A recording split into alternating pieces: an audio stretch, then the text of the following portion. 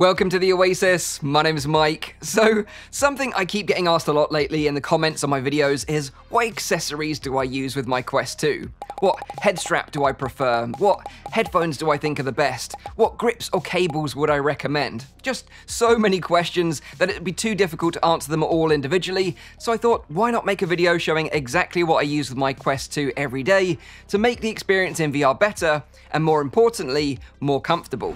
I'm not going to be showing off haptic vests or haptic guns or any other crazy stuff. I'll probably show those weird and wonderful accessories in a future video. This is just what I would call my essential Quest 2 accessories. I've listed all the products shown in the video in the description below if you want to check them out for yourself. So, I hope you enjoy the video, and let's dive in. Okay, so first up, let's start with the most important accessories to make wearing the Quest 2 more comfortable. Now, I love the Quest 2, but when it first came out last year, one of the major criticisms I had was the default material head strap it shipped with. For me, it felt like my head was a watermelon and someone was wrapping elastic bands around it, and after a few minutes of use, it felt like my head was just gonna explode. My alternative at the time was to use the official Elite battery strap, and this was fine for a while, but like a lot of people out there, eventually one of the arms snapped, so I began looking for alternatives.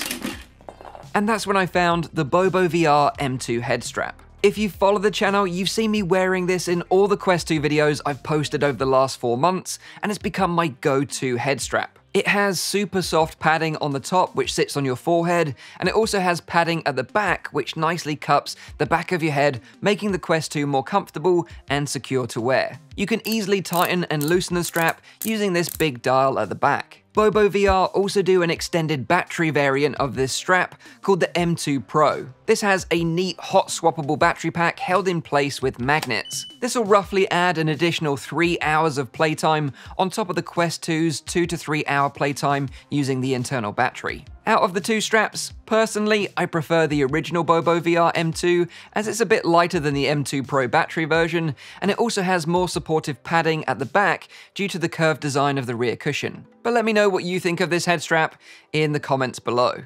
Moving on from the head strap, the second criticism I had with the Quest 2 was the default facial interface foam. I mean, it's okay, but after some time I found it can get a little itchy and uncomfortable. To remedy this, I turned to one of my all-time favorite VR accessory makers, VR Cover. I've been using their products for the past five years since the original Rift launched, and I use their replacement facial interface kits on all my VR headsets. The original Quest 2 foam interface can easily be removed, and the VR cover one just slots in its place. They use this lovely, cool and soft pleather material padded with foam for the face pads, which makes wearing the Quest 2 for prolonged periods of time an absolute breeze. The kit comes with two face pads, a thick one and a thin one, so you can choose the one that works best for you. The pads themselves can easily be removed from the interface to be swapped out or cleaned, as they're just held in place with Velcro. The kit I have here is the limited edition Virtual Reality Oasis branded kit, which I of course love, but I'm totally biased here, so if you're looking for something more subtle,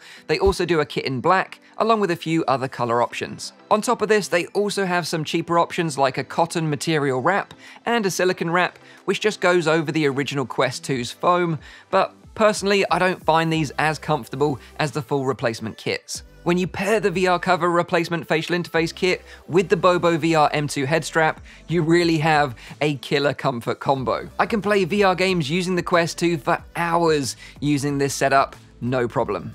Moving on from head straps and face pads onto lenses. Now, I actually have a mild prescription for glasses, which I tend to wear whilst driving or watching TV. I found when wearing my glasses in VR, it just helped to sharpen everything up a bit, but I found wearing them in headsets to be uncomfortable. Also, I once accidentally rubbed the glasses of my lenses against the glasses of my headset, causing scratches on both lenses, which turned out to be an expensive mistake. Since then, I've been a big fan of prescription lens inserts. These work by simply clipping in corrective lenses over the original headset's lenses. I have these inserts on three of my VR headsets now, and I wouldn't want to be without them. Obviously, not everyone wears glasses in VR, but this is a great alternative to wearing glasses or contact lenses whilst playing. These particular inserts are from a company called Widmo VR. They've always been a pleasure to deal with, and there's a link to their website in the description below.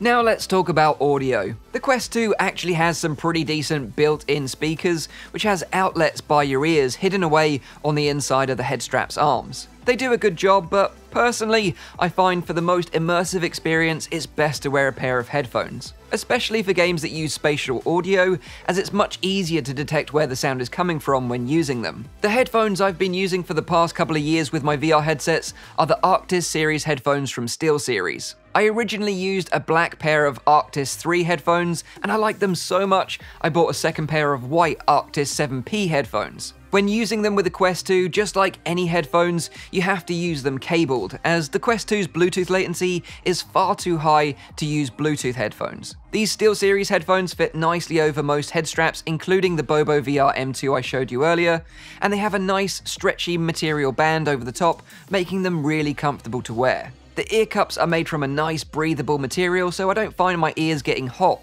whilst playing. Another awesome bonus of these SteelSeries headphones is that you can have two audio sources running through them at the same time. For example, you can connect them to the Quest 2 using a 3.5mm audio cable and also have audio coming from your PC wirelessly at the same time. This is particularly useful if you prefer to use something like Discord instead of in-game voice chat for multiplayer games, or you just want to stream music from your PC whilst playing. The Arctis 7P come with a small USB-C dongle which sends the audio wirelessly at 2.4 GHz to the headphones. This set is actually designed to be used with the PS5, but they also work great with a PC as long as it has a USB-C port. Now, if you don't have a USB-C port, but you still want to use the same mixing function with Bluetooth, so for example, you could listen to your Quest 2 audio wired and your phone streaming music wirelessly at the same time, the Arctis 9 headphones do the same thing, but use Bluetooth wireless audio streaming instead of using the USB-C dongle. The SteelSeries headphones are a little on the pricey side, but to have this dual audio feature is quite unique and is definitely worth it in my opinion.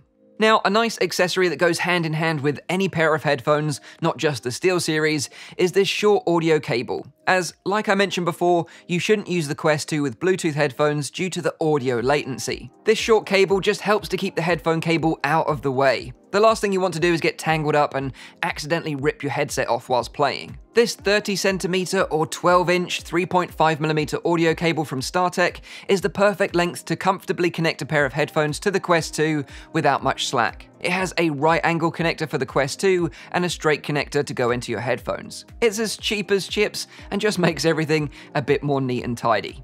Moving on from the headset to the controllers. The Quest 2 actually has the best VR controllers of all the current VR headsets, in my opinion.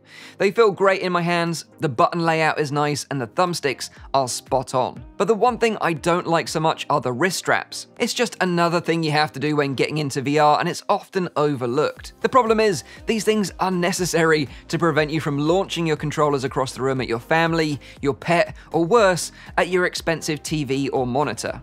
Thankfully, VR Cover have come in clutch again with another excellent accessory, and that's these awesome controller grips. With these, you can simply remove the original wrist straps, slide the touch controllers into the grips cups, and then the controllers will be fixed to your hands using an adjustable strap that runs across the back. Kinda makes the Oculus touch controllers feel a little bit like the index controllers in that you can completely let go of them, but they still remain secured in place. For me, they feel great and I can swing them around in confidence knowing they're securely attached to my hands. What I like to do is pair these grips with these halo protectors which are also from VR Cover. These fit snugly over the touch controller's inverted tracking ring, and they have precise cutouts for the invisible IR tracking LEDs, so they don't hinder the controller tracking in any way. While they probably won't prevent damage from a big throw or a massive drop, they will prevent damage from minor knocks and bumps. I've been using these in combination with the grips for around 9 months now, and I absolutely love them.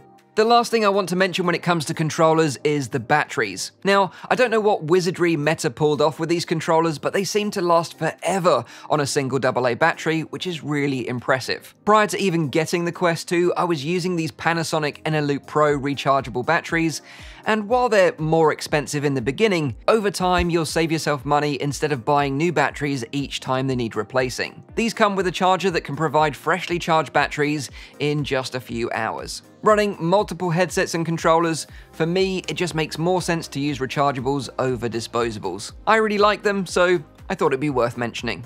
Now let's talk about link cables. If you're new to the Quest 2, you might not be aware that you can actually connect the headset to a gaming PC to play PC VR games from Steam, which is an awesome feature. Half-Life Alyx is still one of the best VR games to date, but it's only available on PC. I'll probably do a short video guide on how to play Steam VR content with the Quest 2 on the channel soon. Now, you can do this wirelessly, which I'll talk more about shortly, or you can use a USB-C cable. Oculus stroke Meta provide their own 5 meter official link cable, which is very pricey at 80 US dollars or 80 British pounds, but it is the thinnest and most flexible link cable I've tried since its launch. Just recently, I've been testing a cheaper alternative from VR Cover, which is also 5 meters in length, but it's just a little chunkier. The VR cover cable also comes with a nice Velcro loop to attach it to your head strap, which is a nice touch to keep the cable out of the way. Both of these cables work great, and I tend to use a cable over a wireless connection when I'm recording VR gameplay. There's plenty of other options available when it comes to link cables on Amazon